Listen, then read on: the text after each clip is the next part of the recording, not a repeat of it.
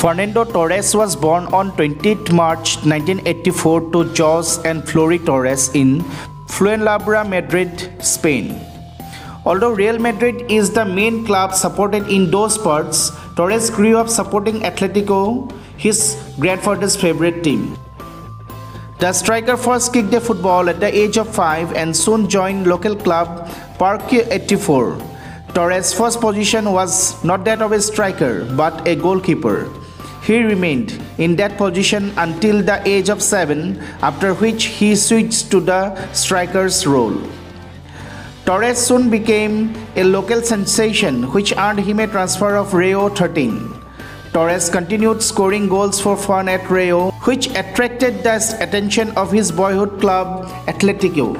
Atletico offered him a youth contract in 1999 which he accepted.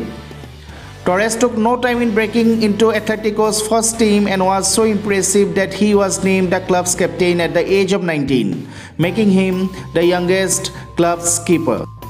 The striker also acquired his famous nickname El Nino, which translates to the little kid.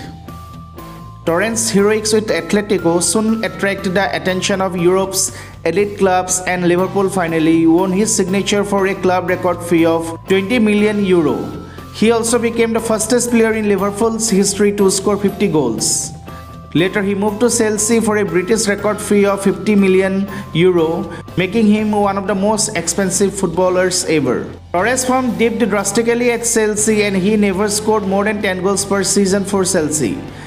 Chelsea finally decided to end their relationship with Torres and shipped him to AC Milan. He married his longtime girlfriend Olalla Dominguez on 27 May 2009 in a private ceremony consisting of just two guests in Madrid. The pair have two children, a daughter named Nora and a son named Leo together.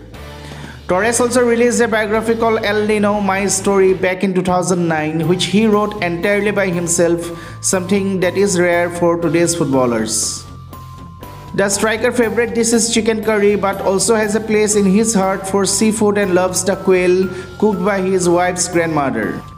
He is also a gadget freak and always takes his laptop with him to away matches so he can watch his favorite TV shows which are Lost and Prison Break. The Spaniard also loves his PlayStation 3 and has installed a gaming room consisting of three PlayStations 3 at his home.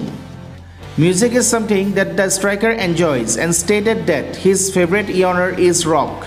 Torres also appeared in a music video of Spanish band El Canto del Loco, whose lead singer Dani Martín is the striker's close friend. So with this we would like to conclude this video by wishing Fernando Torres a very very happy birthday.